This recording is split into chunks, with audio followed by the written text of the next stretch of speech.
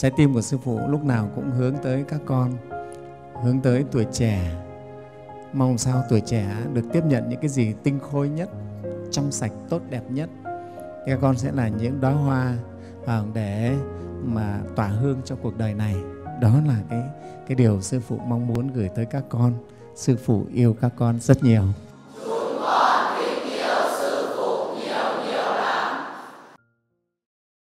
Đối với sư phụ thì cũng đã qua một thời tuổi trẻ như các con. Sư phụ biết, tuổi trẻ rất nhiều ước mơ hoài bão, rất nhiều những khao khát vươn tới, và rất cần những cái môi trường tốt đẹp để cho mình thực hiện được những cái hoài bão ước mơ ấy. Các con biết là sư phụ chắc chắn thế là sẽ cả một đời này để là cái người trông vườn, ươm vườn trí tuệ. Và đặc biệt nhất là tuổi trẻ là những hạt giống rất quý. Cho nên đối với tuổi trẻ là sư phụ nói là không tiếc một cái gì để trợ duyên cho các con tu dưỡng, rèn luyện, trau dồi đạo đức và trí tuệ. Hai cái đó là sư phụ không tiếc. Sư phụ sẵn sàng để xây trường. Ở vùng nào, vùng sâu, vùng xa chưa có trường, sư phụ xây trường để cho tuổi trẻ có trường học được rèn luyện, xây dựng thư viện để các con có chỗ đọc sách hoặc làm những cái việc gì trong việc giáo dục. Như là một người ông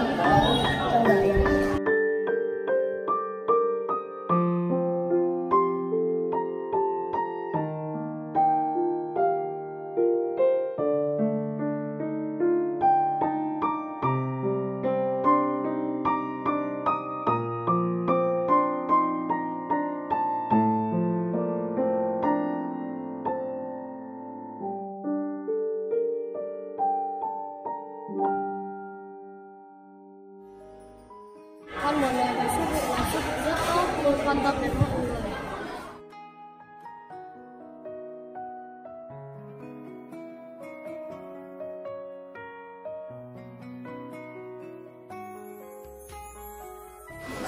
con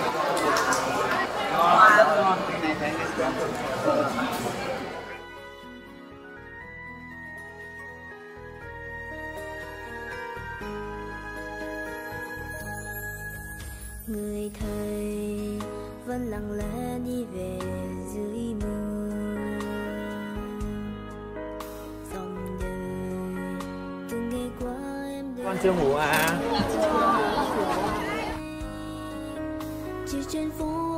Cả đời sư phụ cái lý tưởng là cho giáo dục đào tạo và nhắm tới tuổi trẻ.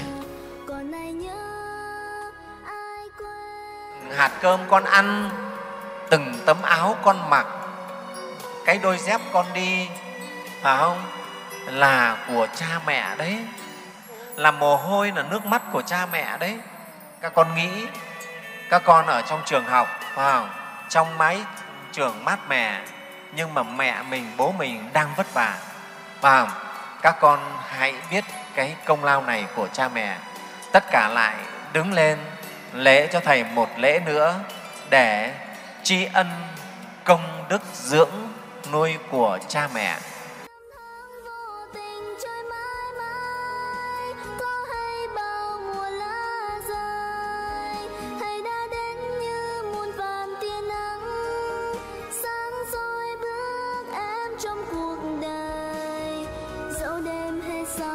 Trời đêm nay dẫu đêm làm sao em đếm hết công ơn người thầy? Những ngàn năm, làm sao em đếm hết